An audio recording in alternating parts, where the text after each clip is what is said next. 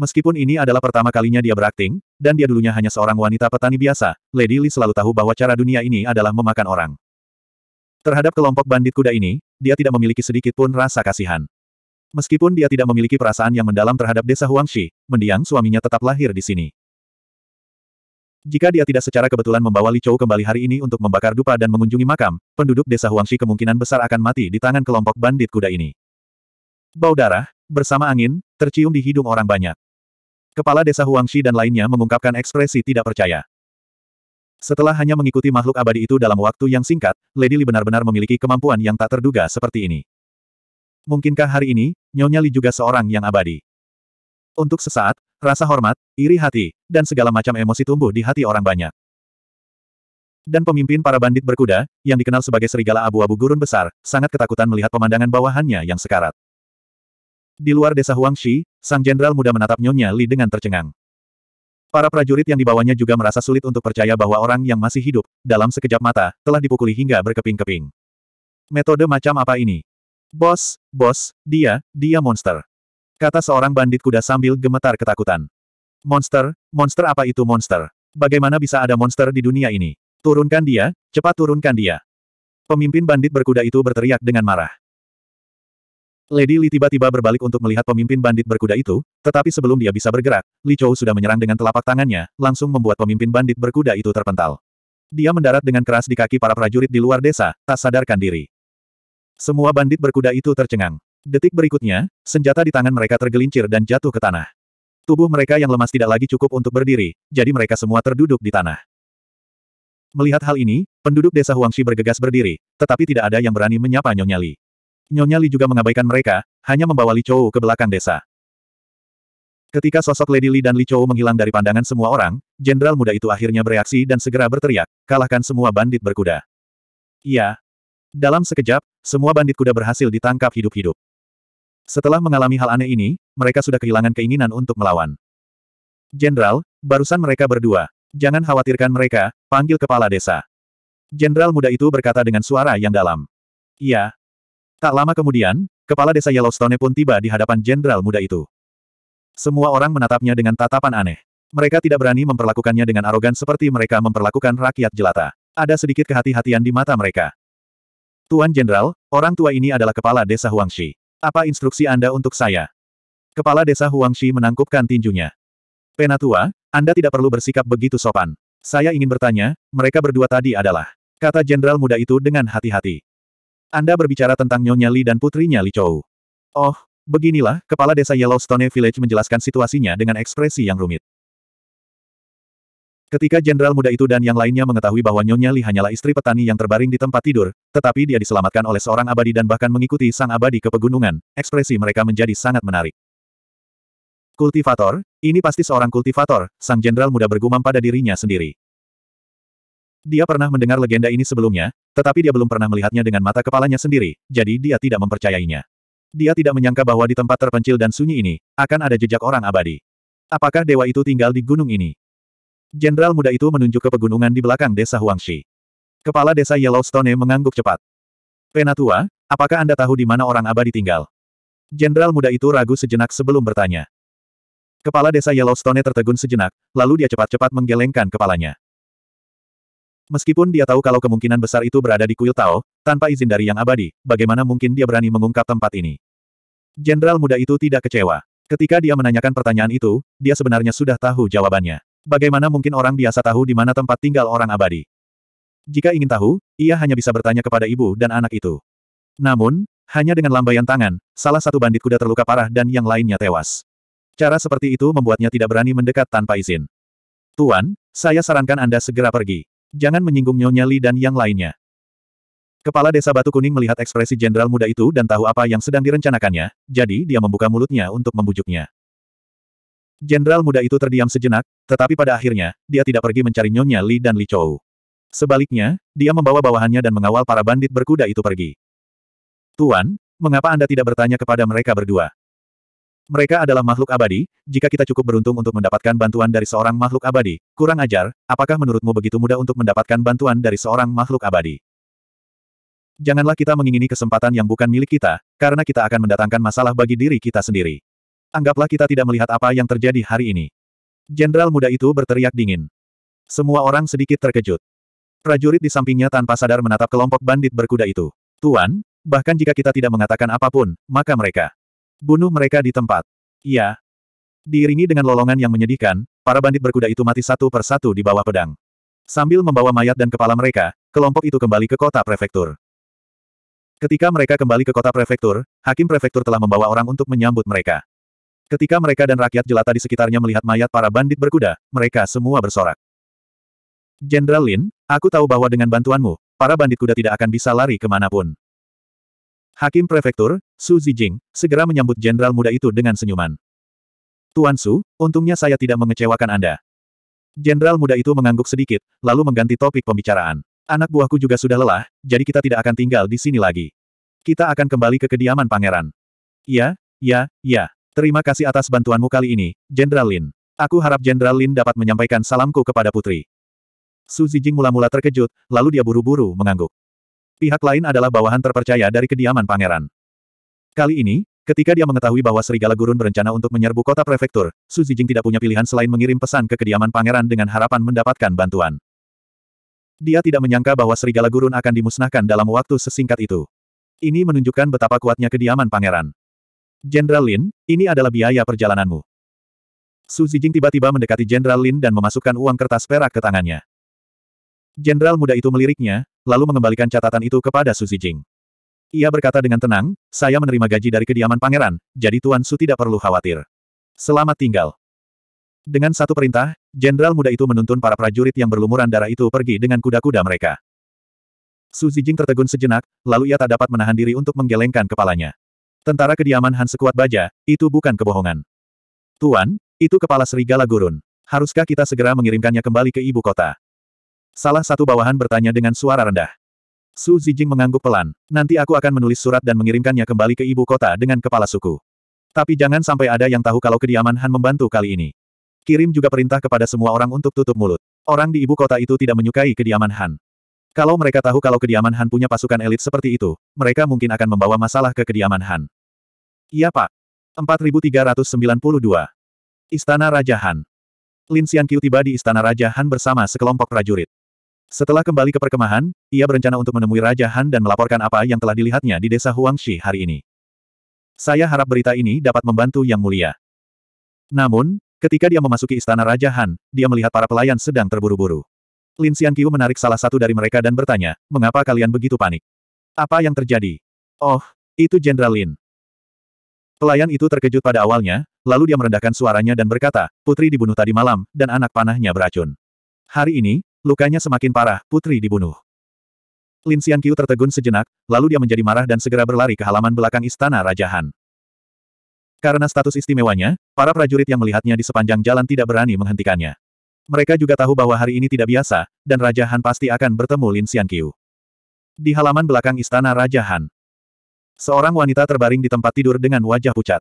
Wajahnya tampak diselimuti aura hitam yang tidak dapat disingkirkan. Beberapa sosok berdiri di depan tempat tidur. Salah satu dari mereka bertubuh kekar dan kuat. Meskipun usianya tidak muda, ki dan darahnya sangat kuat. Orang ini adalah Chen Suo, Raja Han. Dokter, apakah putri saya bisa diselamatkan? Chen Suo bertanya dengan tenang. Sang putri sangat keracunan, dan saya khawatir saya tidak bisa berbuat apa-apa. Namun, Yu Taiji di ibu kota mungkin punya cara untuk mengatasi racun ini. Aku sudah memperhitungkan situasi sang putri saat ini. Jika kita mengirimnya ke ibu kota hari ini, dia mungkin bisa sampai di sana. Dokter tua itu mendesah pelan. Ekspresi semua orang berubah sedikit. Mengirimnya ke ibu kota. Bukankah itu sama saja dengan mengirim orang ke istana untuk membicarakan sesuatu tentang istana Raja Han? Yang mulia, pembunuh itu datang tadi malam dengan cara yang aneh. Dia bisa saja membunuh sang putri, tetapi pada akhirnya, dia menyelamatkan nyawanya. Saya khawatir dia berharap Yang Mulia akan mengirim sang putri ke ibu kota. Latar belakang pembunuh itu tidak sederhana. Seorang jenderal berbaju besi berkata dengan suara rendah. Yang lain saling memandang dan mengangguk sedikit. Mereka juga sudah mengetahuinya. Namun, jika mereka tidak mengirimnya, sang putri akan mati. Jika mereka mengirimnya, orang itu akan memiliki sesuatu di istana rajahan. Itu benar-benar suatu dilema. Keponakanku ini, senyum getir muncul di wajah Chen Suo. Aku selalu mengambil langkah mundur, tetapi aku tidak pernah menyangka bahwa dia akan memaksaku berulang kali. Yang mulia, menurut pendapatku, kita harus berjuang menuju ibu kota. Seorang jenderal berkata dengan suara yang dalam. Mendengar ini, ekspresi dokter tua itu tidak berubah. Dia juga merupakan keturunan langsung dari istana Raja Han. Itu tidak akan berhasil. Meskipun tentara naga Han milik Raja Han berani dan terampil dalam pertempuran, jumlah mereka hanya 5.000. Bagaimana kita bisa menandingi pasukan dari ibu kota? Pada saat itu, akan ada banyak sekali nyawa yang hilang dengan sia-sia. Chen Suo melambaikan tangannya. Ayah, racun adik perempuanku, seorang pemuda yang penampilannya 60% mirip dengan Chen Suo berbicara perlahan. Kami akan berangkat hari ini untuk mengantarkannya ke ibu kota. Chen Suo berkata dengan serius. Ekspresi semua orang berubah sedikit. Jika sang putri pergi ke ibu kota, bahkan jika dia sudah sembuh, akan sulit baginya untuk kembali ke istana Raja Han di masa depan. Dia hanya bisa tinggal di tangan orang itu di ibu kota dan menjadi sarana untuk mengekang istana Raja Han. Yang mulia, Jenderal Lin telah kembali dan meminta audiensi. Lin Xianqiu kembali. Biarkan dia masuk. Chen Suo mengangguk sedikit. Lin Xianqiu melangkah masuk ke dalam ruangan. Ketika dia melihat wajah sang putri pucat dan ada jejak pasukan berkuda hitam di sekelilingnya, wajahnya langsung menjadi gelap. Xianqiu, apakah masalah itu sudah diselesaikan? Chen Suo mengangguk. Yang mulia, untungnya saya tidak mengecewakan Anda. Serigala gurun dan bandit lainnya telah dipenggal. Kata Lin Xianqiu. Kalau begitu, aku akan merepotkanmu untuk mengantarkan sang putri ke ibu kota. Chen Suo mendesah pelan dan menceritakan secara singkat apa yang telah terjadi. Yang mulia, jika sang putri dikirim ke ibu kota, maka istana Raja Han. Lin Xianqiu sedikit tercengang. Jika memang begitu, maka istana Raja Han akan sepenuhnya direbut oleh ibu kota. Akan sangat merugikan istana Raja Han. Selain itu, tidak ada cara lain. Chen Suo menggelengkan kepalanya sedikit. Mata Lin Xianqiu tiba-tiba berbinar. Ia teringat akan kata-kata yang diucapkan kepala desa Huang Shi kepadanya. Karena Dewa Abadi itu dapat mengubah seorang wanita petani yang sakit parah menjadi makhluk yang dapat dengan mudah membunuh bandit kuda, maka bukankah penyakit sang putri akan Terlebih lagi, berdasarkan perjalanannya, akan lebih cepat beberapa hari untuk mencapai desa Huangshi daripada ibu kota. Yang mulia, kali ini, saya mengejar serigala gurun ke sebuah desa kecil, kata Lin Xianqiu dengan ekspresi serius. Jenderal Lin, sekarang bukan saatnya untuk membicarakan hal ini. Karena serigala gurun telah dibunuh olehmu, masalah ini telah berakhir. Orang lain yang berpakaian seperti jenderal berkata sambil mengerutkan kening. Masalah ini menyangkut keselamatan sang putri, yang mulia. Lin Xianqiu berkata dengan suara yang dalam. Khawatir dengan keselamatan sang putri. Wajah semua orang menampakkan ekspresi terkejut. Bagaimana mungkin serigala gurun ada hubungannya dengan keselamatan sang putri? Tidak ada hubungan antara keduanya, kan? Chen Suo sedikit terkejut, lalu berkata dengan suara yang dalam, katakan padaku. Yang mulia, kali ini, kami mengejar serigala gurun ke desa Huangshi. Mereka awalnya menggunakan 7 hingga 800 penduduk desa untuk mengancam kami. Kedua belah pihak menemui jalan buntu. Jika kami menangkap mereka dengan paksa, nyawa penduduk desa itu pasti akan terancam. Lin Xianqiu berkata perlahan. Chen Suo mengerutkan kening, kali ini, penduduk desa yang tidak bersalah itu terlibat. Lin Xianqiu menggelengkan kepalanya perlahan, penduduk desa tidak terlibat. Lalu bagaimana kau menangkap serigala gurun? Kata Chen Suo. Saat kami dalam kebuntuan, kami bertemu dengan dua penduduk desa dari desa Huangshi. Mereka mengalami nasib yang tidak akan pernah berakhir. Dengan lambaian tangan mereka, serigala gurun jatuh koma dan para bandit pun pingsan. Sungguh memalukan jika kukatakan, jika bukan karena mereka, aku khawatir hamba yang rendah hati ini tidak akan mampu menangkap serigala gurun dengan mudah. Lin Xianqiu dengan serius menceritakan seluruh prosesnya. Pada saat yang sama, dia juga menceritakan kepadanya tentang apa yang dikatakan kepala desa Huangshi kepadanya tentang penyakit serius Nyonya Li, tetapi dia pulih dalam sekejap. Yang mulia, jika kita bisa meminta bantuan kultivator itu, penyakit sang putri pasti bisa disembuhkan. Lin Xianqiu berkata dengan suara yang dalam. Kekal. Petani. Semua orang terkejut dengan cerita Lin Xianqiu. Apakah benar-benar ada hal misterius seperti itu? 4393. Karena alasan yang tidak diketahui, Sogo tidak dapat menemukan situs web ini hari ini. Para pembaca yang budiman, harap ingat nama domain situs web ini, Book Ocean Pavilion, dan temukan jalan pulang Anda. Jenderal Lin, apakah semua yang Anda katakan benar? Chen Suo bertanya dengan ekspresi serius. Yang mulia, bawahan ini tidak berani menyembunyikan apa pun. Rencananya sekarang adalah mengirim sang putri ke desa Huangshi dan melihat apakah kita bisa meminta kultivator itu untuk merawat sang putri. Lin Xianqiu berkata dengan suara rendah. Semua orang saling memandang dan masih merasa sulit untuk mempercayainya. Namun, dokter tua itu berbicara dengan ekspresi serius. Yang mulia, lelaki tua ini pernah mendengar tentang tabib suci di ibu kota. Ia mengalami takdir abadi, itulah sebabnya ia memiliki prestasi seperti itu di bidang pengobatan. Apa yang dikatakan Jenderal Lin mungkin saja terjadi. Tidak ada waktu yang terbuang. Jenderal Lin, segera kirim putriku ke desa Huangshi. Kau harus menemui kultivator itu dan memintanya untuk mengobatinya. Chen Suo hanya berpikir sejenak sebelum berbicara. Yang mulia, harap tenang. Bawahan ini akan melakukan yang terbaik. Lin Xianqiu menangkupkan tinjunya dan membungkuk. Tidak lama kemudian, kereta rendah itu perlahan meninggalkan kediaman Kekaisaran Han di bawah perlindungan tentara Nagahan. Kelompok prajurit tentara Nagahan ini adalah pasukan elit yang mengikuti Lin Xianqiu dan membunuh serigala abu-abu gurun. Di sebuah restoran tertentu. Sosok itu berdiri dengan kedua tangan di belakang punggungnya dan menatap punggung Lin Xianqiu dan yang lainnya. Bibirnya melengkung. Begitu mereka memasuki ibu kota, posisi sekte tersembunyi kita di negara ini akan mampu menekan sekte jelas. Rencana cemerlang Tuan Muda. Di belakang sosok itu berdiri seorang wanita cantik. Ia menatap pemuda itu dengan sedikit kekaguman di matanya. Kali ini, sekte tersembunyi berjanji kepada orang di ibu kota untuk membantunya. Mereka awalnya berpikir bahwa mereka harus mengeluarkan banyak tenaga dan sumber daya. Mereka tidak menyangka bahwa Tuan Muda akan menyelesaikannya dengan mudah. Mereka bahkan tidak perlu mengirim seorang prajurit pun, dan Istana Kekaisaran Han akan dengan patuh mengirim sang putri ke ibu kota. Dengan cara ini, orang di ibu kota itu pasti akan menghormati sekte tersembunyi.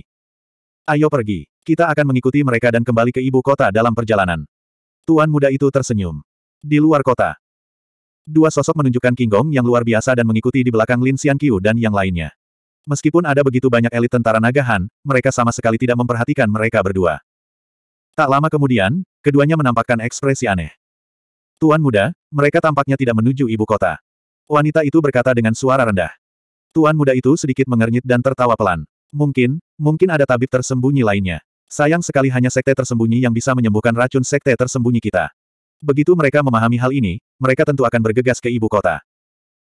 Tuan muda, nyonya daerah telah diracuni oleh racun heksi sekte tersembunyi kita. Dia hanya punya waktu 15 hari untuk hidup. Apakah mereka akan melewatkan periode waktu ini? Jika sang putri meninggal, itu tidak akan ada gunanya baginya. Dia akan tidak bahagia. Wanita itu berkata dengan suara rendah. Dia tidak akan mati. Raja Han sangat menyukai putrinya sehingga dia tidak akan membiarkannya mati seperti ini. Dokter yang mereka datangi seharusnya tinggal tidak jauh dari sini.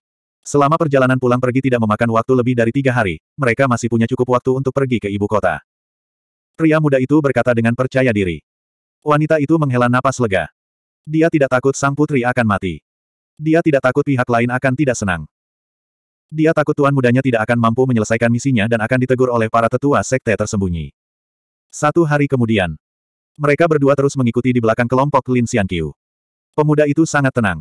Dua hari kemudian, pemuda itu tetap tenang. Tiga hari kemudian, pria muda itu mengerutkan kening dalam. Mereka masih dalam perjalanan. Dengan demikian, bahkan jika dokter yang mereka cari tidak dapat menyelamatkan sang putri, tidak ada cukup waktu bagi mereka untuk pergi ke ibu kota. Tuan muda. Ekspresi wanita itu menjadi cemas. Terus ikuti mereka dan lihat apa yang mereka rencanakan. Jika Raja Han memang sudah berniat melepaskan putrinya ini, maka kebaikan hati yang ditunjukkan Raja Han di hadapan rakyat jelata hanyalah kepura-puraan belaka. Pria muda itu mencibir. Akhirnya, mereka berdua mengikuti selama tujuh hari dan akhirnya tiba di desa Huangshi. Desa kecil ini. Wanita itu melihat Lin Xianqiu dan yang lainnya memasuki desa dari jauh dan menunjukkan ekspresi heran. Apa yang mereka lakukan di tempat ini? Menyamarlah. Ayo masuk dan lihat. Pria muda itu berkata dengan acuh tak acuh. Wanita itu mengangguk sedikit. Tidak lama kemudian, seorang pria parubaya dengan wajah penuh kesulitan berjalan memasuki desa Huangshi bersama seorang wanita berkulit kuning gelap yang juga serupa. Mereka tampak lelah karena perjalanan dan tampaknya telah menempuh perjalanan yang lama. Kalian pasti orang asing, kan? Siapa yang kamu cari? Siapa saudara kita yang ada di desa Huangshi kita? Ketika seorang wanita melihat mereka berdua, ia berinisiatif untuk menyapa mereka dan bertanya dengan rasa ingin tahu. Pria parubaya itu diam-diam melirik ke kejauhan. Pasukan Nagahan yang dibawa Lin Xianqiu ada di sana di depan sebuah halaman sederhana. Kakak, kami hanya lewat saja dan haus, jadi kami ingin meminta air. Pria parubaya itu memperlihatkan senyum jujur dan berkata. Jadi kamu di sini untuk meminta air. Ikutlah denganku. Wanita itu tersenyum dan mengangguk. Dalam perjalanan, lelaki parubaya itu bertanya dengan rasa ingin tahu, para prajurit itu. Oh, maksudmu mereka? Mereka datang untuk mengunjungi kepala desa. Hehe, desa Huangshi kita bisa dianggap memiliki satu orang yang naik ke Dao. Bahkan pejabat setinggi itu pun bersikap sangat sopan kepada kita. Wanita itu berkata dengan bangga. Keduanya saling berpandangan. Ada sesuatu yang salah. Pria parubaya itu terus bertanya dengan rasa ingin tahu, kakak, apa maksudmu dengan satu orang naik ke Dao? Apakah di desa Anda pernah ada pejabat tinggi? Lalu kenapa jika dia seorang pejabat tinggi? Bahkan kaisar pun tidak dapat dibandingkan dengannya. Wanita itu tersenyum. Beraninya kau, Wanita itu menahan amarah di hatinya dan tidak menegur pria paruh baya itu. Dia sudah memutuskan. Dia akan mengirim seseorang untuk melihat apakah semua penduduk desa di sini tidak menghormati kaisar. Jika ya, dia akan menangkap mereka semua dan menjebloskan mereka ke penjara. Kakak, kau sombong sekali. Siapa di dunia ini yang memiliki status lebih tinggi daripada yang mulia? Pria parubaya itu terkekeh. Wanita itu berhenti dan menatapnya sambil tersenyum tipis. Kau tidak percaya padaku. Kalau begitu biar ku ceritakan kepadamu mengapa para pejabat itu datang jauh-jauh ke sini. Itu karena desa Huangshi kita punya seorang yang abadi. Para pejabat itu pergi mencari kepala desa dengan harapan kepala desa akan mengirim seseorang untuk membawa mereka ke kuil Tao di pegunungan untuk bertemu dengan sang dewa abadi. Mereka berdua akhirnya mengerti segalanya. Pihak lain datang ke sini untuk mencari seseorang yang bisa menghilangkan racun dalam diri sang putri. Namun, orang yang mereka cari agak membingungkan. Kekal. Tidak ada yang namanya abadi di dunia ini. Namun, dari kata-kata wanita itu, mereka mengetahui bahwa ada kuil Tao di sini. Pendeta Tao di kuil Tao itu mungkin ahli dalam keterampilan medis. Karena pihak lain bersedia mempertaruhkan segalanya dan menghabiskan beberapa hari untuk datang ke sini, jelaslah bahwa mereka sangat percaya pada keterampilan medis pendeta tahu itu. Karena itu, dari awal hingga akhir, mereka tidak berniat pergi ke ibu kota. Memikirkan hal ini, lelaki parubaya itu tersenyum dan berkata, Kakak, di mana kuil Tao yang kamu sebutkan? Jika benar-benar ada yang abadi, istriku dan aku juga ingin mengunjunginya dan memohon bantuannya. Wajah wanita itu tampak sedikit malu. Awalnya, wanita itu tidak mau menunjukkan arah kuil Kintang. Namun, Ketika mendengar bahwa mereka meminta seorang anak, dia tertawa dan berkata, kalian beruntung. Kuil tahu ada di arah itu. Meskipun dewa mungkin tidak membantu, jika kalian pergi dan memohon padanya, kalian mungkin bisa mendapatkan kesempatan dan melahirkan bayi yang besar dan gemuk. Wanita itu menunjuk ke arah kuil Kintang. 4394 Mengingat arah yang ditunjukkan wanita itu, pria parubaya dan wanita itu mengucapkan terima kasih sebesar-besarnya dan pergi setelah meminum air tersebut. Sebelum pergi, Lin Xianqiu dan yang lainnya masih berada di rumah kepala desa. Anak. Di dalam hutan, wanita itu berbisik, apa yang harus kita lakukan sekarang? Langsung pergi ke kuil Tao dan bunuh dokter yang ada di dalam. Sambil melepaskan penyamarannya, anak itu berkata dengan tenang. Tetapi bahkan jika kita membunuh dokter itu, Lin Xianqiu dan yang lainnya tidak akan punya waktu untuk pindah ke ibu kota. Wanita itu mengerutkan kening. Aku akan menetralkan racun dalam tubuhnya, lalu membunuhnya lagi. Anak itu mencibir. Itulah satu-satunya rencananya sekarang. Mata wanita itu berbinar. Tampaknya hal itu bisa dilakukan, dan dengan kekuatan dirinya dan anak itu, hal itu tidak sulit dilakukan. Keduanya segera masuk jauh ke dalam hutan dan terbang ke arah yang ditunjukkan wanita itu. Letak kuil kintang mungkin agak curam bagi orang awam, tetapi tidak seberapa bagi para jagoan bela diri seperti mereka. Hanya dalam waktu satu jam, keduanya tiba di depan kuil kintang. Mereka kebetulan melihat Little Yue, Er datang dari arah lain sambil membawa sekeranjang buah-buahan. Melihat bahwa yang datang adalah seorang gadis berusia lima atau enam tahun, anak itu tersenyum dan melangkah maju. Gadis kecil, apakah ini kuil Tao? UR kecil tampak aneh. Dia menunjuk ke papan tulis dan bertanya dengan rasa ingin tahu, kamu tidak bisa membaca. Berani sekali kau. Wanita itu mendengus dan menatap UR dengan dingin. Dia tidak perlu berpura-pura menjadi wanita di sini. UR kecil mengerutkan kening dan mendengus. Dia mengabaikan keduanya dan berjalan ke kuil Tao. Melihat hal ini, anak itu bergerak dan berhenti di depan Little UR. Dia tersenyum dan berkata, aku ingin bertemu dengan pemilik tempat ini. Antarkan aku ke sana. Anda ingin bertemu dengan pemiliknya. UR kecil mengerutkan kening. Itu benar. Anak itu mengangguk sambil tersenyum. Baiklah, ikut aku. Yue, R kecil merenung sejenak lalu mengangguk. Keduanya mengikuti UR kecil ke kuil Tao. Ketika mereka melewati gerbang, dua mayat berbaju besi perunggu perlahan muncul. Anak itu sepertinya merasakan sesuatu. Dia berbalik dan tidak melihat apa pun. Dia mengerutkan kening sedikit lalu santai. Sepertinya dia terlalu banyak berpikir. Apa yang begitu misterius tentang kuil Tao ini? Yue, Er, siapa mereka? Dagou dan Li Chou sedang mengolah teknik surgawi saat mereka merasakan kehadiran orang asing, jadi mereka pun berkumpul. Mengapa mereka semua anak-anak? Wanita itu merasa sedikit aneh. Saudaraku, mereka ingin bertemu dengan Dekan Biara. Kata Yue Er kecil. Anda ingin bertemu guru. Mata Dagouzi berkilat curiga. Kedua orang ini tidak memiliki aura seorang kultivator. Mungkinkah guru mengenal manusia biasa lainnya? Izinkan saya bertanya, ada berapa banyak orang di kuil Tao ini? Wanita itu berkata dengan dingin. Dagouzi merasakan bahwa pihak lain tampaknya tidak memiliki niat baik. Ekspresinya menjadi semakin aneh, tetapi dia tetap menjawab dengan jujur, kuil kami memiliki total lima orang. Itu artinya tidak ada dua orang di sini. Wanita itu melirik ke arah pemuda itu dan melihatnya mengangguk pelan. Dia bergerak dan langsung menahan ketiga pria itu. Mereka bertiga tidak panik sedikit pun sambil menatap wanita itu dengan acuh tak acuh. Selama kamu mendengarkan aku, kamu akan baik-baik saja. Wanita itu mencibir.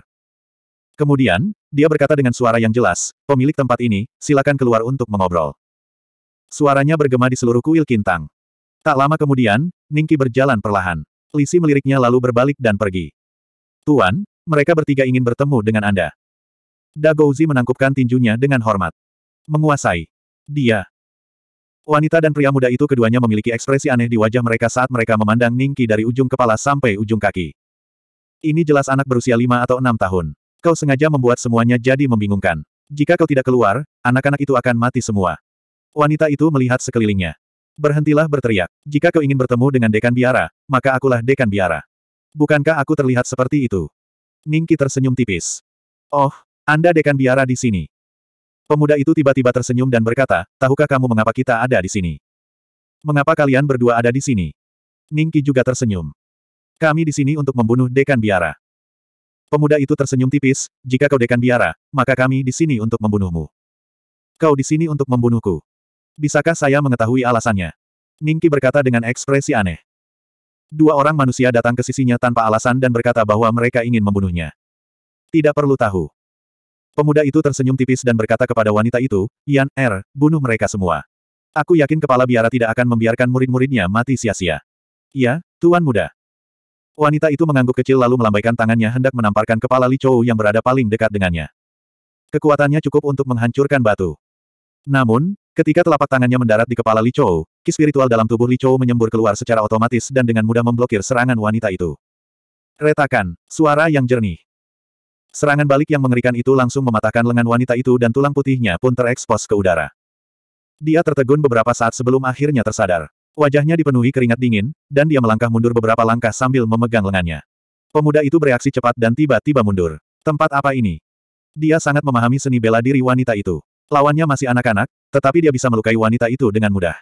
Kepala biara di tempat ini jelas bukan orang yang sederhana. Untungnya, skill lightness miliknya sangat bagus. Sekarang setelah dia bereaksi, meninggalkan tempat ini bukanlah masalah besar.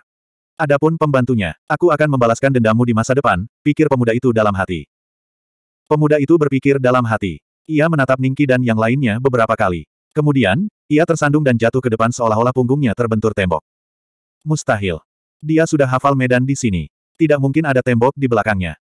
Pemuda itu berbalik dengan heran, hanya melihat dua sosok kekar berpakaian baju besi hitam sedang menatapnya dengan tenang. Mayat berbaju zirah perunggu akan menyerang begitu mereka merasakan permusuhan. Jika bukan karena Ningki, pemuda itu pasti sudah tercabik-cabik. Sekarang, bisakah kau memberitahuku mengapa kau datang jauh-jauh ke kuil Kintang untuk membunuhku? Ningki berjalan perlahan ke arah pemuda itu dan berkata sambil tersenyum. Tuan muda. Wanita itu berteriak dengan keras. Meskipun dia bisa melihat bahwa pemuda itu akan menyerah padanya, dia masih dengan setia bergegas menuju Ningki untuk melindungi pemuda itu. Ningki melambaikan tangannya dengan lembut. Wanita itu terbungkus dalam kisurgawi dan melayang di udara, tidak bisa bergerak. Melihat kejadian ini, wajah pemuda itu perlahan-lahan menunjukkan ekspresi terkejut. Ketenangan yang telah ia pertahankan selama lebih dari 20 tahun lenyap dalam sekejap. Kamu, kamu manusia atau setan? Suara pemuda itu sedikit bergetar. Dia memikirkan tentang makhluk abadi yang disebutkan oleh wanita petani itu. Apakah benar-benar ada yang abadi di dunia ini? Pada saat ini, dia menyesal tidak mencari tahu detail tempat ini. 4395. Ingat, akulah yang bertanya padamu. Ningki tersenyum. Pemuda itu memang berpengalaman. Melihat Ningki tidak membunuhnya, dia pun menjadi tenang. Pada saat yang sama, ia menyimpulkan bahwa kuil ini sangat mistis. Mungkin apa yang dikatakan wanita dari desa Huangshi itu benar. Mungkin ada yang abadi di sini, dan anak-anak ini mungkin adalah anak-anak yang abadi. Sampai sekarang, dia masih tidak menyangka kalau Ningki adalah penguasa kuil ini. Katakan padaku, mengapa kalian berdua datang ke kuil Kintang dan ingin membunuhku? Ningki tersenyum. Karena kediaman Han. Pemuda itu ragu sejenak, lalu berkata perlahan. Kediaman Han. Ningki tersenyum, aku tidak tahu tentang kediaman Han. Itu bukan alasan yang cukup bagus. Mengapa kamu tidak menceritakan keseluruhan ceritanya kepadaku? Tidak tahu Han Residence. Secerca keheranan muncul di wajah pemuda itu, dan kemudian dia langsung pulih dari keterkejutannya dan merasa sangat menyesal. Dia terlalu cemas. Lin Xianqiu dan yang lainnya masih berada di desa Huangshi. Bukankah ini berarti mereka tidak memiliki kepercayaan diri untuk meminta bantuan dari kepala kuil ini? Pada saat itu, terdengar suara berat dari luar pintu. Lin Xianqiu dari tentara naga Han dari kediaman Han ingin bertemu dengan dewa dari kuil Kintang. Lin Xianqiu ada di sini. Ekspresi serius muncul di wajah pemuda itu. Jika pihak lain masuk ke kuil Tao, mereka pasti akan bertemu satu sama lain. Tapi untungnya, dia berasal dari sekte tersembunyi dan Lin Xianqiu tidak mengenalnya. Ningki memandang keluar kuil Tao, dan kisurgawi mengalir di matanya. Dia melihat Lin Xianqiu dan wanita di kereta perang yang mereka bawa dengan paksa ke atas gunung. Pada saat ini, Ningki tampaknya mengerti mengapa pemuda itu ada di sini. Dia menatap mereka berdua sambil tersenyum tipis dan berkata kepada Dagouzi, pergi dan sambut mereka masuk. Ya tuan. Dagouzi mengangguk dan pergi. Di luar kuil. Lin Xianqiu tampak sedikit gugup. Tentara nagahan di sampingnya menahan napas dan penuh rasa hormat terhadap tempat ini. Jenderal Lin, racun nona muda tampaknya makin parah. Kata seorang wanita di dalam kereta. Jangan khawatir, kita sudah sampai di kuil Kintang. Selama dewa bersedia membantu, racun di tubuh nona muda pasti bisa dihilangkan. Lin Xianqiu berkata tanpa menoleh ke belakang. Tidak lama kemudian, dia melihat sesosok tubuh kurus dan kecil berjalan keluar dari kuil Tao. Mata Lin Xianqiu berbinar. Terakhir kali, Li Chou berusia hampir sama, dan metodenya juga luar biasa. Anak laki-laki di depannya kemungkinan besar adalah murid dari makhluk abadi itu. Dia sudah mendengar dari kepala desa-desa Huangshi bahwa dewa itu abadi dan tidak menua. Dia memiliki penampilan seperti anak kecil, tetapi penampilannya berbeda dari Dagouzi. Alasan mengapa dia bertanya tentang penampilan dewa itu adalah karena dia takut dia akan secara tidak sengaja menyinggung Ningki. Guru berkata bahwa kamu dapat memasuki kuil Tao. Ikutilah aku. Dagouzi mengangguk sedikit pada Lin Xianqiu. Terima kasih terima kasih. Lin Xianqiu terkejut dan segera memberi isyarat kepada bawahannya, dan mereka membawa kereta kuda itu ke kuil Tao. Tak lama kemudian, mereka tiba di depan halaman kecil dan melihat Ningki, Li Chou, dan yang lainnya. Mereka juga melihat wanita itu melayang tinggi di udara dan pemuda itu berdiri dengan muram di sampingnya. Prajurit tentara nagahan menatap wanita itu, dan rasa hormat di hatinya meledak. Tubuhnya gemetar, dan dia merasakan dorongan untuk berlutut dan menyembahnya. Dia bisa terbang. Mereka yang bisa terbang sudah pasti abadi. Tetapi bagaimana makhluk abadi ini bisa terbang dengan cara yang begitu aneh? Mungkinkah makhluk abadi memang seperti ini? Guru, mereka sudah sampai. Dagouzi berjalan di depan Ningki dan berbicara dengan lembut. Ningki mengangguk sedikit dan tersenyum pada Lin Xianqiu. Jenderal ini, apakah kamu mengenali mereka berdua? Ningki menunjuk ke arah wanita dan pemuda itu. Uh, Lin Xianqiu terkejut dan mengamati wanita dan pemuda itu.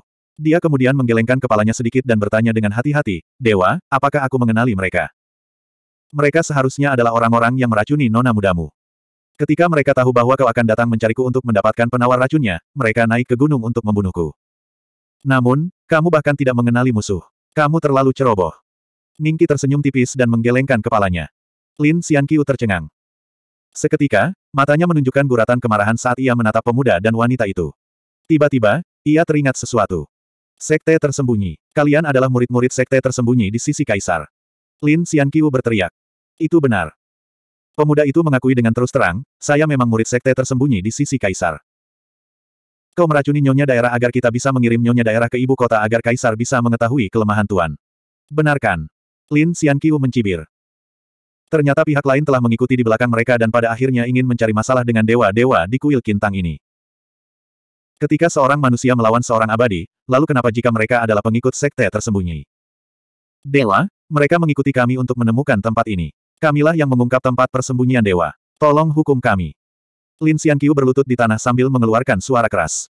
Pemuda itu sedikit terkejut. Sasaran yang ditujunya adalah Ningki. Mungkinkah anak di depannya ini tidak pernah membodohinya? Apakah dia benar-benar kepala kuil dari kuil Tao ini? Memikirkan hal itu, hati pemuda itu menjadi dingin. Dengan metode seperti itu, usia yang ada di depannya pasti tidak nyata. Karena itu tidak nyata, bukankah itu metode sang abadi untuk mendapatkan kembali masa mudanya? Metode seperti itu hanya ada dalam legenda. Sekarang setelah dia melihatnya dengan mata kepalanya sendiri, itu benar-benar tidak dapat dipercaya. Sudah takdir kau bisa menemukan tempat ini. Apakah kau akan membawa mereka berdua bersamamu, atau kau ingin aku yang mengantar mereka pergi? Ningki tersenyum tipis. Dewa-dewa, penguasa wilayah sekarang diracuni. Aku datang ke sini hari ini untuk meminta bantuan dewa-dewa untuk menetralisirnya. Lin Xianqiu bersujud. Sebelum dia bisa menyelesaikan kalimatnya, Ningki berkata, Tuan wilayahmu baik-baik saja. Bagus. Bagaimana ini mungkin? Pria muda itu mengerutkan kening dalam-dalam. Dia bahkan tidak melihat apa yang dilakukan Ningki. Tirai kereta juga tidak terbuka. Lin Xianqiu juga tidak percaya. Tepat pada saat ini, tiba-tiba terdengar seruan dari kereta. Tuan wilayah, mengapa Anda berdiri? Orang yang diracuni terbaring di tempat tidur. Jika dia bisa bangun, berarti racunnya telah dinetralisir. Pria muda itu menunjukkan ekspresi terkejut. Setelah beberapa saat, tirai pun terbuka. Seorang wanita dengan kulit pucat dan wajah pucat membuka tirai. Tuan wilayah. Lin Xianqiu sangat terkejut. Metode abadi, metode abadi, pria muda itu bergumam pada dirinya sendiri sementara matanya dipenuhi ketakutan. Sejak muda, pendidikan yang diterimanya dan pandangan dunia yang dibinanya hancur total hari ini. Sekte tersembunyi meramu racun Qi dengan formula khusus dan telah diwariskan selama ratusan tahun. Tidak ada dokter di dunia ini yang dapat menetralkannya. Hari ini, racun itu dinetralkan secara diam-diam oleh seseorang, dan bahkan racun yang tersisa pun tidak ada. 4396. Jenderal Lin, ini sulit bagimu. Penguasa wilayah memandang Lin Xianqiu dan berbicara lembut. Selama tuan wilayah baik-baik saja, semuanya baik-baik saja. Lin Xianqiu menjawab dengan senang.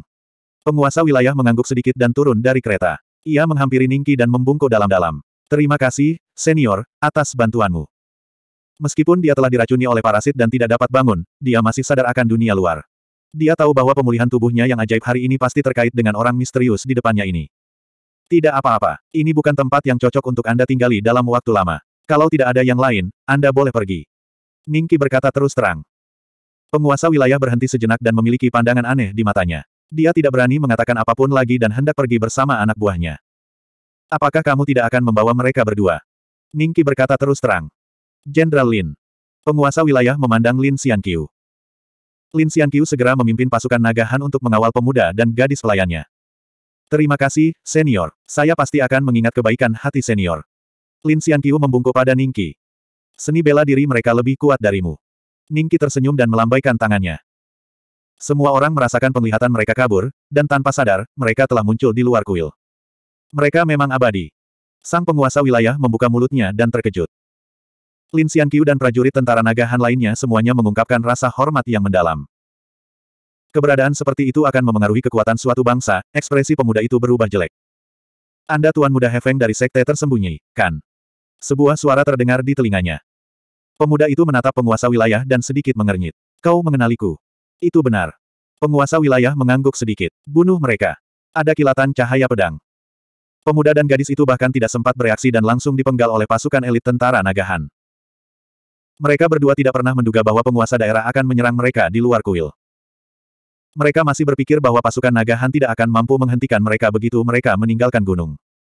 Seni bela diri mereka kuat. Begitu mereka meninggalkan gunung, Anda mungkin tidak dapat menghentikan mereka. Sang putri menjelaskan. Dia tampaknya sedang menjelaskan kepada Lin Xianqiu dan yang lainnya, dan juga kepada orang-orang di kuil Tao. Setelah menjelaskan, dia memerintahkan Lin Xianqiu dan yang lainnya untuk mengambil kepala mereka dan membersihkan jejak-jejak itu agar pintu kuil Tao tidak ternoda darah. Kemudian, mereka membungkuk kepada kuil Tao dan turun gunung. Istana Raja Han. Chen Suo dan beberapa bawahannya menyaksikan putrinya masuk. Lin Xianqiu membawa dua kotak kayu di tangannya. Racun sang putri benar-benar telah disembuhkan. Apakah yang dikatakan Lin Xianqiu benar? Apakah benar-benar ada jejak orang abadi di desa Huangshi? Para jenderal saling berpandangan dan diam-diam terkejut. Pada saat yang sama, mereka juga sangat senang. Karena sang putri belum meninggal, tidak perlu mengirimnya ke ibu kota, dan orang di ibu kota itu tidak akan dapat menggunakannya untuk menahan Raja Istana Han. Ayah, orang-orang yang menyerangku kali ini adalah sekte tersembunyi dan Tuan Muda Feng yang berada di sisi yang mulia. Sang putri membungkuk kepada Chen Suo dan berkata perlahan. Tuan Muda Angin. Ekspresi terkejut melintas di mata Chen Suo. Bagaimana kamu tahu itu dia? Tangannya. Kudengar anak ini memiliki bakat luar biasa sejak kecil, dan seni bela dirinya kuat. Dia juga sangat cerdas dan mungkin akan mengambil alih posisi patriark sekte tersembunyi di masa depan, menjadi bilah tajam di tangan yang mulia. Kepalanya ada di dalam kotak di tangan Jenderal Lin, dan kotak lainnya adalah kepala gadis pelayannya. Sang putri berbicara perlahan dan menjelaskan kejadian itu. Semakin banyak orang mendengarkan, semakin terkejut mereka. Chen Suo bergumam pada dirinya sendiri, aku tidak menyangka akan ada orang abadi seperti itu di wilayah kekuasaan Adipati ini. Adipati ini harus datang berkunjung secara pribadi. Ayah, orang itu tampaknya tidak suka diganggu. Sang putri mengingatkannya. Benar, kita harus menemukan waktu yang tepat. Chen Suo mengangguk sedikit. Karena orang itu mampu melarutkan racun Qi dalam tubuh putrinya, dia pasti orang yang tidak masuk akal. Selama dia menemukan waktu yang tepat, dia akan datang berkunjung. Apa yang ingin kamu lakukan dengan kedua kepala ini? Chen Suo menatap sang putri dan bertanya. Saya bermaksud mengirim mereka ke ibu kota. Sang putri tersenyum dan berkata. Mengirim mereka ke ibu kota. Jika memang begitu, bukankah kita akan benar-benar berselisih dengan sekte tersembunyi? Chen Suo mengerutkan kening. Para jenderal lainnya juga sedikit takut. Kekuatan sekte tersembunyi mungkin tidak sebanding dengan sekte jelas, tetapi metode mereka tidak boleh diremehkan. Dikabarkan bahwa sekte tersembunyi memiliki banyak pembunuh di bawah mereka. Beberapa adalah elit di ketentaraan, dan beberapa adalah ahli di dunia tinju. Orang-orang ini tidak hanya sangat kuat, tetapi pendukung mereka juga memiliki hubungan dekat dengan orang itu di istana. Mereka bertindak tanpa hambatan. Jika mereka benar-benar melawan, kediaman Han pasti akan menderita pembunuhan tanpa akhir. Jika mereka menghilang, itu akan membawa masalah bagi kediaman Lige. Kita sebaiknya mengirim mereka ke ibu kota secara terbuka. Sekte tersembunyi akan terintimidasi untuk waktu yang singkat, dan mereka tidak akan berani bertindak gegabah sampai mereka memahami alasannya. Kita harus memanfaatkan kesempatan ini untuk mengekspresikan sikap kita terhadap orang tersebut. Jika mereka terus bersikap sombong, kita hanya bisa menerima tantangannya. Sang putri berbicara dengan suara yang dalam. Menerima tantangan itu akan benar-benar membuatnya kalah.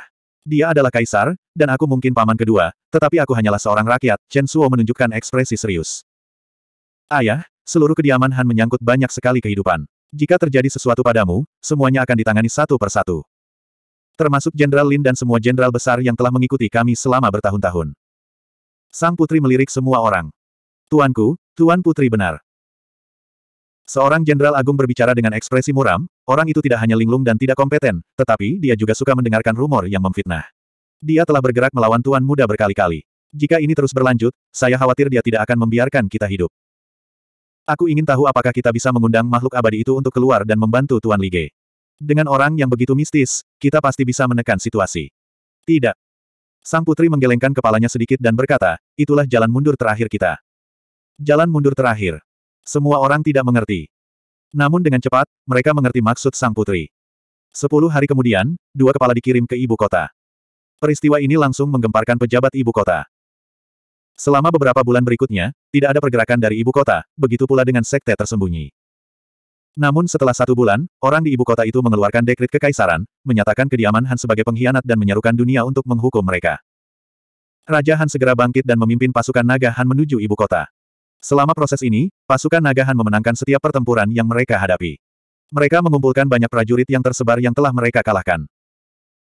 Tidak seorang pun di dunia yang menyangka bahwa kediaman Han akan maju menyerang dan bertempur menuju ibu kota dalam waktu sesingkat itu.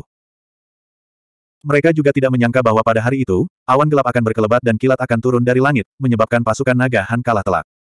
Kemudian, para prajurit yang menyerbu keluar dari ibu kota memanfaatkan kemenangan itu untuk mengejar mereka. Dalam pertempuran itu, pasukan naga Han nyaris musnah. Chen Suo dan yang lainnya melarikan diri hidup-hidup dengan bantuan Lin Xianqiu dan yang lainnya. 4397 Mencari. Di sinilah tentara naga Han melarikan diri. Pengkhianat Chen Suo ada di antara mereka. Siapa pun yang menemukan mereka akan dipromosikan menjadi bangsawan.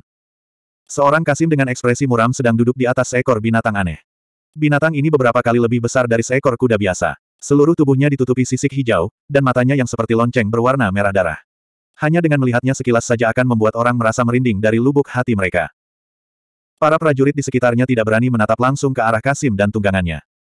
Dalam pertempuran di luar ibu kota, Kasim berjubah sulaman dan binatang buasnya telah menyebabkan tentara naga Han melarikan diri ke segala arah. Jika bukan karena pasukan naga Han yang mempertaruhkan nyawa mereka untuk melindunginya, Chen Suo tidak akan mampu melarikan diri dan sudah lama meninggal di luar ibu kota. Setelah beberapa saat, seorang prajurit bergegas berlari kembali dan menangkupkan tangannya untuk memberi hormat kepada Kasim. Tuanku, ada sebuah desa tidak jauh di depan. Di jalan menuju desa, ada jejak pasukan berkuda. Meskipun mereka telah membersihkan jejak-jejak itu dengan saksama, bawahan ini masih dapat melihat sekilas mereka. Haha, bersembunyi di desa. Kasim itu tersenyum jahat. Desa mana itu? Sepertinya itu desa Huangshi. Kata prajurit itu. Ayo masuk dan lihat. Mari kita lihat bagaimana perasaan Raja Han setelah bersembunyi di tempat terpencil dengan kepanikan seperti itu. Jejak Sadenfrude tampak di mata si Kasim. Iya. Beberapa ratus prajurit menjawab serempak. Mereka semua adalah elit tentara kekaisaran di istana kekaisaran ibu kota. Mereka awalnya sombong dan tidak patuh, jadi bagaimana mereka bisa menghormati seorang Kasim? Namun beberapa hari yang lalu, mereka telah menyaksikan sendiri kekuatan Kasim itu dan bersedia menerimanya sebagai pemimpin mereka. Desa Huangshi.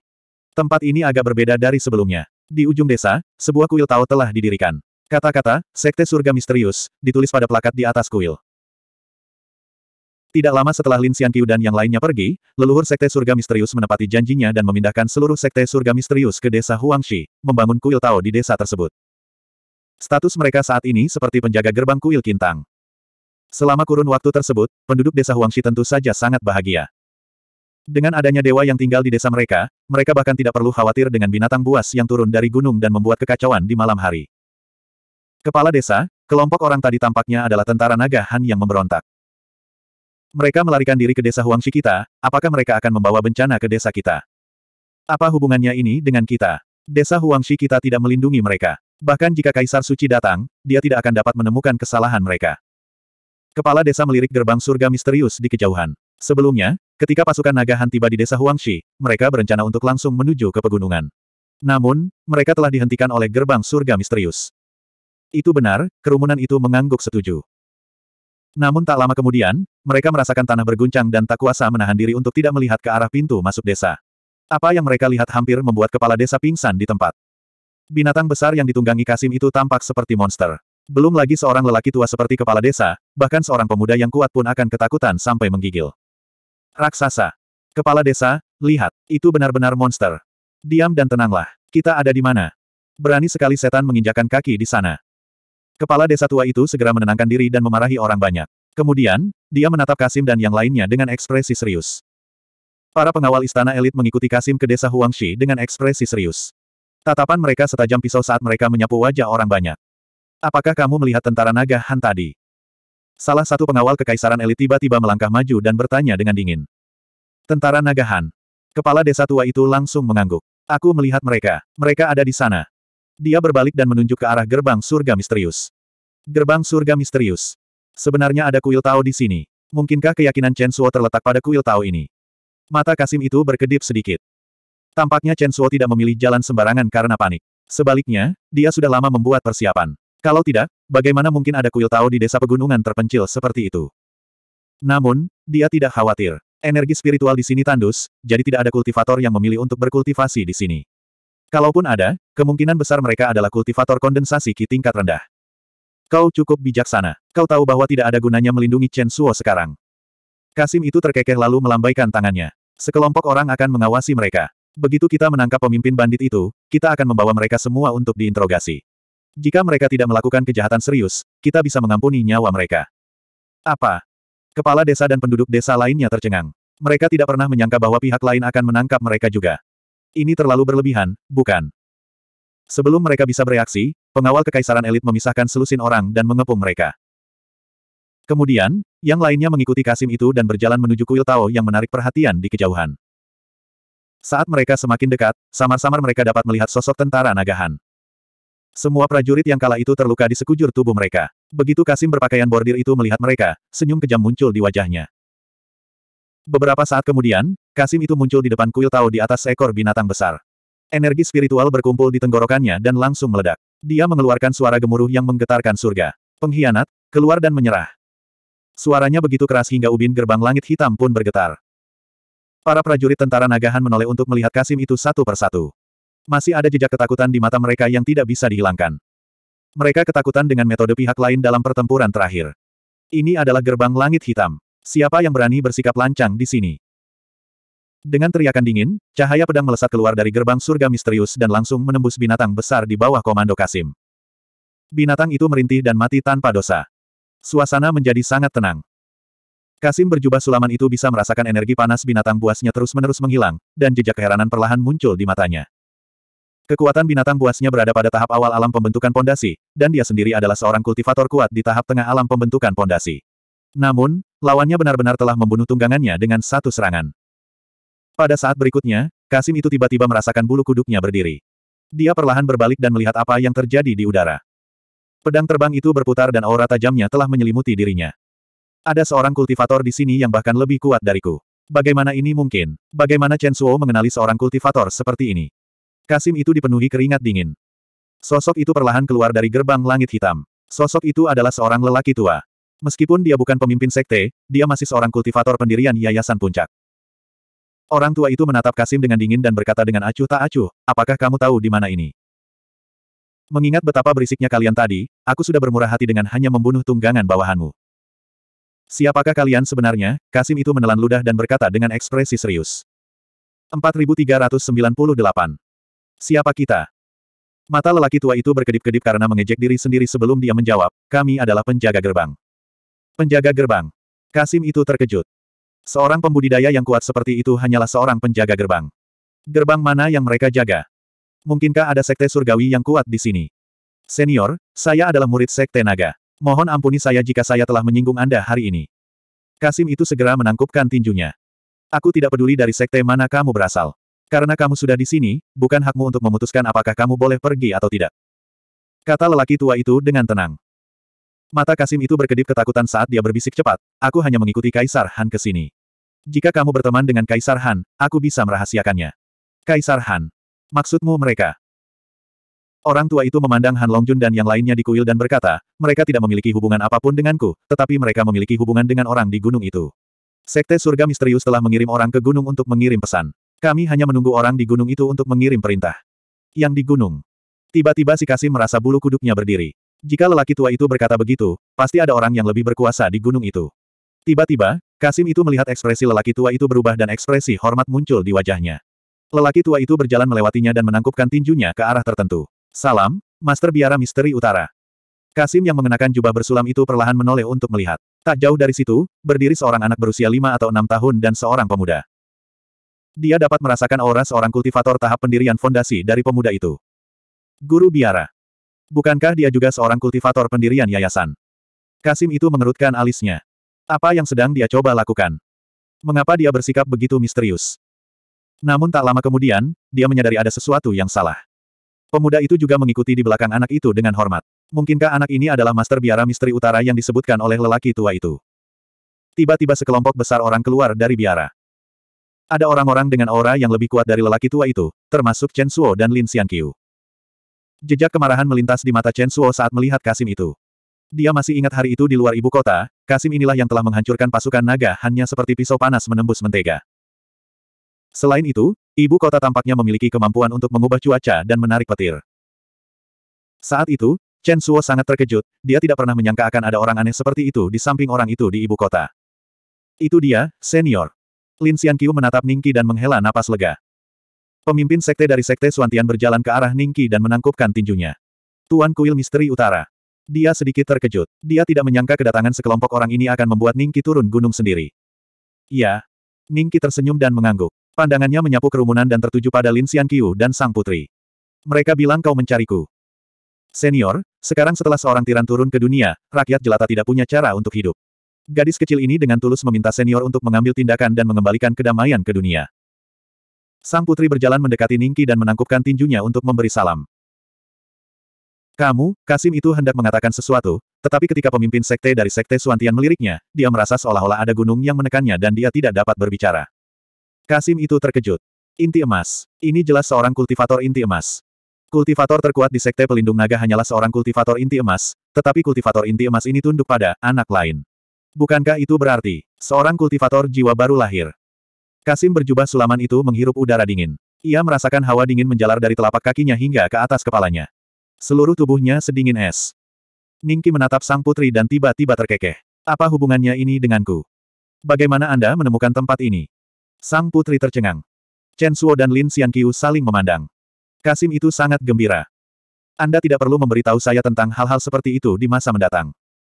Ningki menatap Master Sekte Suantian dan berkata dengan tenang. Ya ya ya. Pemimpin Sekte Suantian mengangguk cepat. Dia sedikit takut. Dia pikir kelompok orang ini benar-benar mengenal Ningki, tetapi mereka tampaknya tidak saling mengenal sama sekali. Ningki berbalik dan pergi. Sang putri memiliki ekspresi kosong di wajahnya. Hehehe, Kasim itu tidak dapat menahan tawa. Kemudian, dia tersadar dan menangkupkan tinjunya ke arah ketua sekte. Senior, saya minta maaf karena mengganggu Anda hari ini. Saya akan pergi dulu. Baiklah. Pemimpin sekte Suantian mengangguk. Dia tidak berencana untuk membuat Kasim itu tinggal. Kasim itu pergi bersama pengawal kekaisaran elit. Sebelum pergi, dia melirik Raja Han dan yang lainnya. Niat membunuh di matanya tidak berkurang sama sekali. Raja Han, ayo kita keluar dan melawan mereka. Salah satu jenderal berkata dengan suara rendah. Bagaimana? Chen Suo bergumam pada dirinya sendiri, bahkan di puncak kekuasaan kita, kita tidak dapat menahan metode Kasim itu, apalagi sekarang. Semua orang terdiam. Kita pasti akan mati jika keluar. Sang putri bergumam pada dirinya sendiri. Kemudian, dia menyipitkan matanya dan berkata dengan suara rendah, berapa banyak perak yang kita miliki. Perak.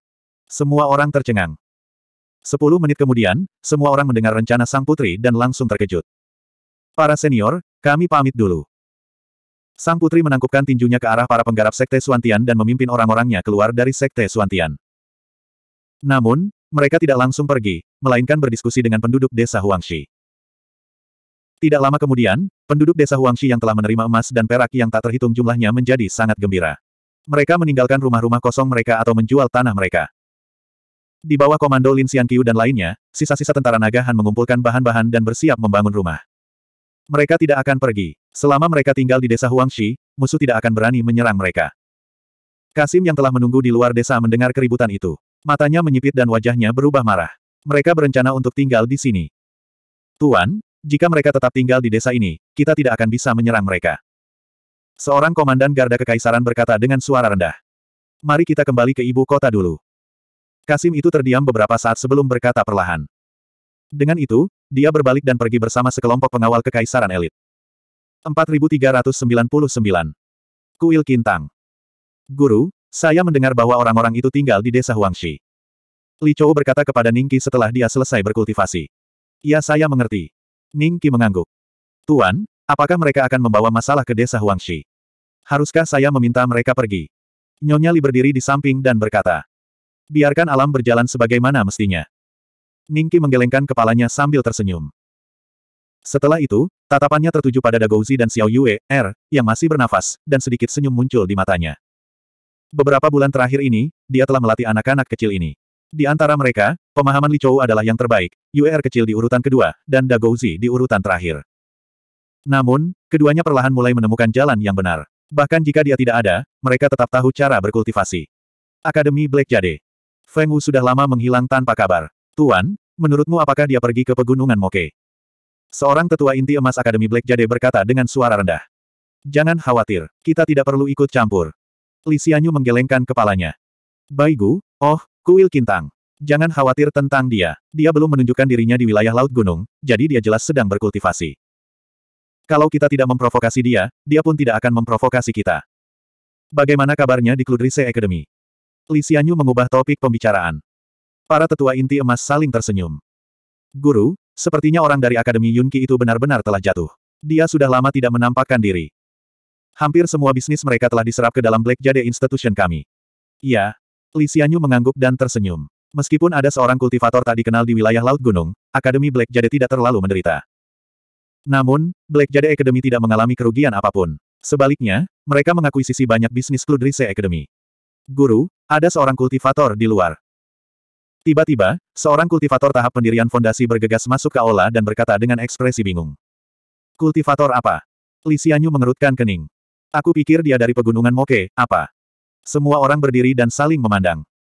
Apakah Feng Wu membawa orang-orang dari pegunungan Moke kembali? Tapi bagaimana bisa secepat itu? Li Xianyu memimpin sekelompok tetua keluar dari aula dengan ekspresi serius.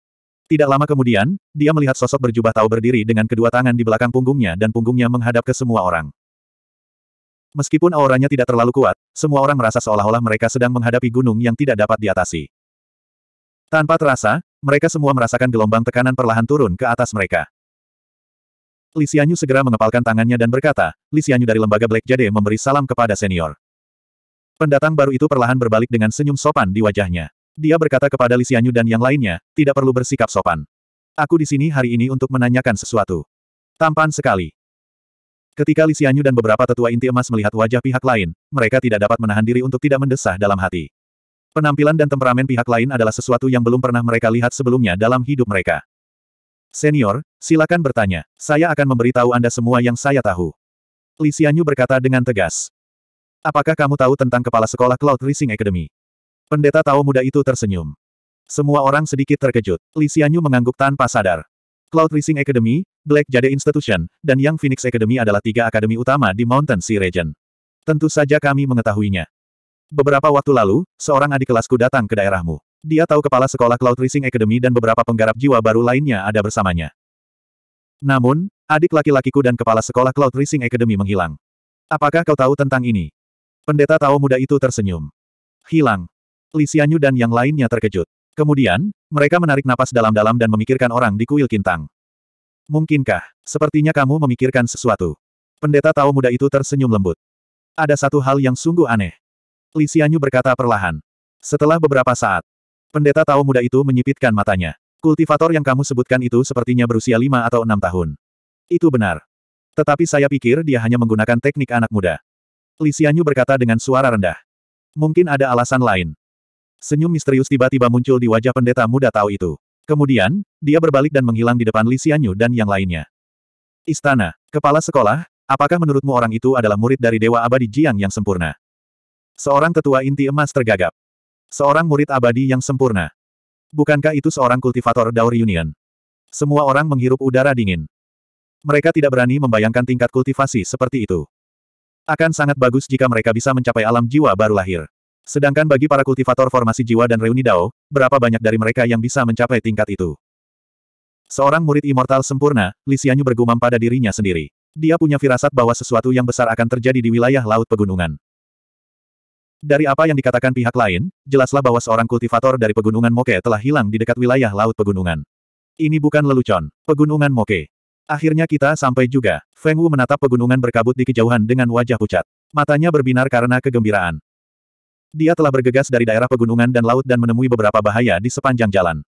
Untungnya, dia memiliki tingkat kultivasi yang tinggi dan tiba di sini dengan selamat. Sambil menarik napas dalam-dalam, Feng Wu terbang menuju pegunungan tak berujung. Namun setelah lama mencari, dia tidak melihat kuil Tao abadi yang legendaris, sampai.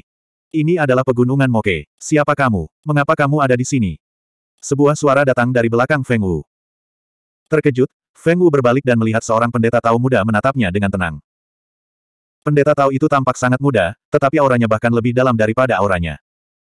Kemungkinan besar dia adalah seorang kultivator Naschen Soul yang telah mencapai tahap kesempurnaan. Anda. Feng Wu menangkupkan tinjunya. Ini adalah tempat kultivasiku. Akulah yang bertanya tentang latar belakangmu. Pihak lainnya berkata dengan tenang. Murid abadi Jiang yang sempurna. Mata Feng Wu berbinar dan dia langsung berkata, Namaku Feng Wu, Kepala Sekolah Akademi Phoenix Muda di wilayah Laut Pegunungan. Aku di sini untuk melaporkan sesuatu kepada keturunan Dewa Abadi yang sempurna. Keturunan dari sang abadi yang sempurna. Pihak lain mengerutkan kening. Ada apa? Feng Wu menceritakan apa yang telah terjadi. Ketika dia mendengar bahwa mayat berbaju besi perunggu telah muncul di wilayah Laut Gunung, ekspresi pihak lain menjadi aneh. Apakah kamu berbicara tentang sekte mayat misterius? Itu benar. Feng Wu mengangguk karena terkejut. Sisa-sisa sekte mayat misterius. Saya ingat bahwa saya membantu paman guru termuda membersihkannya. Pihak lainnya bergumam pada dirinya sendiri. Feng Wu terkejut. Mungkinkah dialah yang menghancurkan sekte mayat misterius? Selain mayat berbaju besi perunggu, apalagi yang dimiliki orang yang sedang kau bicarakan? Pihak lainnya berkata dengan suara rendah. Dia sangat kuat. Aku menduga dia adalah seorang kultivator formasi jiwa. Feng Wu berbisik. Pembentukan jiwa. Itu tidak baik. Aku harus meminta bantuan Paman Master. 4400. Jadi ada banyak sekali hal yang bisa dilakukan di luar pegunungan Moke. Feng Wu mengikutinya ke pegunungan Moke. Baru saat itulah dia menyadari bahwa dia telah berada dalam formasi ilusi saat dia menginjakan kaki di sana. Segala sesuatu yang dilihatnya dan dirasakannya hanyalah ilusi.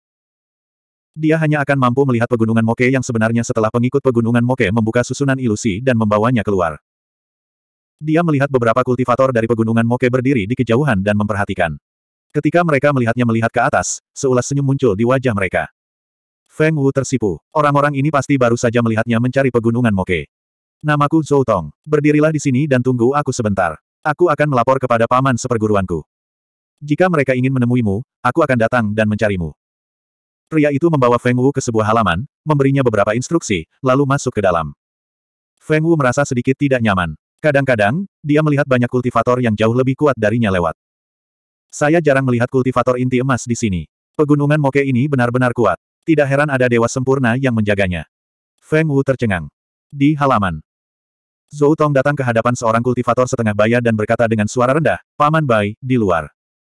Dia menceritakan padanya apa yang telah terjadi. Kultivator setengah baya yang dipanggil Paman Bela Diri Bai sedikit mengernyit. Dia hanya ingin meminjam tangan kita untuk menghadapi kultivator yang muncul entah dari mana itu. Paman Master Bai, kau benar. Namun, karena kita sudah tahu tentang hal itu, jika kita tidak menanganinya, Paman Master Tianhui akan marah besar saat mengetahuinya. Sekte mayat misterius telah menyinggung perasaannya saat itu. Zhou Tong berbisik. Kepribadian Tian Hui. Paman Bai bergumam pada dirinya sendiri dan berdiri. Ayo kita pergi dan melihat ke sana. Jika itu benar-benar sisa-sisa sekte mayat Suan, kita akan membunuh mereka saja. Ketika Paman Tian Hui kembali, kamu bisa pergi dan mengambil hadiahmu. Terima kasih, Paman Bai. Zhou Tong berkata sambil tersenyum. Tak seorang pun dari mereka yang tahu bahwa Jiang Tianhui sudah dalam perjalanan. Dia juga tidak tahu bahwa murid utama Dewa Sejati Jiang telah tiba di domain Laut Gunung dan menemukan beberapa petunjuk. Kuil Kintang. Ningki tengah bermeditasi ketika jantungnya tiba-tiba berdebar. Mungkinkah bahaya sedang mendekat? Ningki membuka matanya dan ekspresi serius muncul di wajahnya. Ia lalu berdiri dan berjalan keluar dari kamarnya. Akhirnya, ia melihat seorang Taois muda berdiri di luar pintu dengan kedua tangan terlipat di belakang punggungnya. Kamu baru saja mencapai puncak alam jiwa asli. Secara logika, tidak ada alasan bagimu untuk menekan adik muda. Kata pendeta muda Tao itu dengan tenang. Siapa kamu? Ningki berkata dengan serius. Dia sama sekali tidak mampu melihat menembus kultivasi pihak lain. Ini berarti bahwa dia adalah seorang kultivator formasi jiwa atau seorang kultivator integrasi tubuh yang bahkan lebih kuat daripada seorang kultivator formasi jiwa. Siapa aku tidaklah penting. Aku ingin tahu, siapa kamu? Sang pendeta tahu muda menoleh ke arah Ningki dan tersenyum. Tuan Kuil Kintang, Ning Beixuan. Ningki tersenyum. Ning Beixuan. Pendeta tahu muda itu merenungkan nama ini sejenak. Ia yakin bahwa ia belum pernah mendengarnya sebelumnya. Senyum hangat muncul di wajahnya saat ia berkata.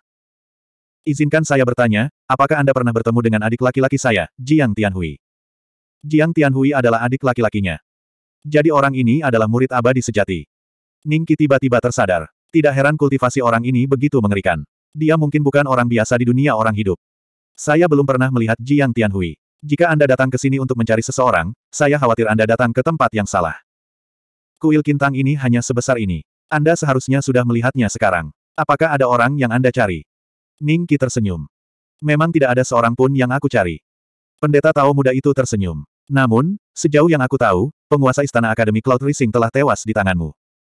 Saat itu dia bersama adik laki-laki saya. Keduanya kini hilang. Kalau kamu bilang tidak pernah melihat adik laki-laki saya, itu tidak benar, kan?